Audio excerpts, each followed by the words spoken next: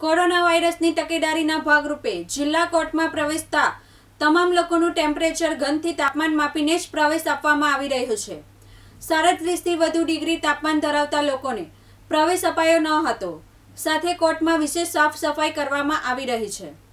Court બિલ્ડિંગના પ્રવેશ દ્વાર પર સૂચના લખી દેવામાં આવી છે કે પક્ષકારો તથા જે તે કામના સાક્ષીઓએ નામદાર કોર્ટમાં હાજર રહેવાની જરૂર નથી. તેમજ જે તે કેસ અંગેની તારીખ વકીલને ફોન પર સંપર્ક કરીને મેળવી લેવા વિનંતી કરતો પત્ર ચોંટાડી દેવામાં આવ્યો છે.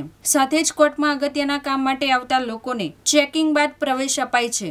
વકીલ કર્મચારીઓ ક્લાર્ક સહિતના તમામના ચેકિંગ કરવામાં આવી રહ્યા છે. સરકારી મુખ્ય વકીલ નયન સુખડવારાએ પક્ષકારોને અપીલ કરી અને સૂચન કર્યા હતા. કોર્ટમાં ફોગિંગ મશીનથી બે વાર દવાનો છંટકાવ કરવામાં આવી રહ્યો છે. લાઇબ્રેરી પણ બંધ રાખવામાં આવી છે, જે સર્વાનુમતે નિર્ણય લેવામાં આવ્યો છે. કોર્ટમાં માત્ર ઇમરજન્સી કેસ પર કામ કરવામાં આવશે. કોર્ટ કેમ્પસમાં સફાઈ કામગીરી વિશેષ રીતે હાથ ધરવામાં આવી રહી છે.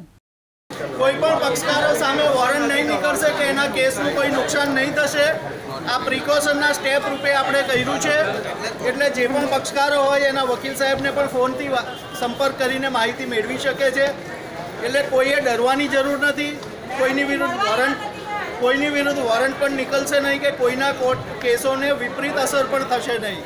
એટલે આ પ્રિકોશનના ભાગરૂપે છે, સાવચેતીના ભાગરૂપે છે, એ આપણે બધાની સલામતીને માટે છે.